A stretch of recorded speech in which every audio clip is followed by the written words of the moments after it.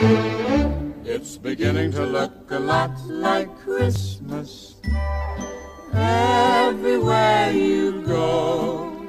Take a look in the five and ten, Listening once again. with candy canes and silver lanes aglow.